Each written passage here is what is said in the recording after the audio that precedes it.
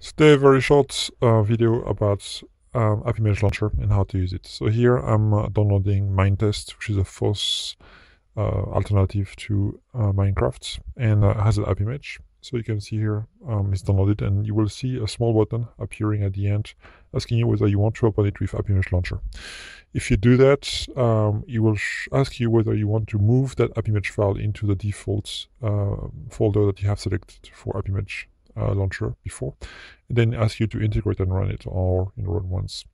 If you do that, uh, it will first launch um, Minetest and also integrate at the same time this into your OS. So you see now Minetest is launching perfectly fine, um, and you could play it if you wanted to. And then um, you will see also that if you close it and you go back to um, the the launcher, you will see that Minetest is now integrated inside uh, your OS. So um, you're done.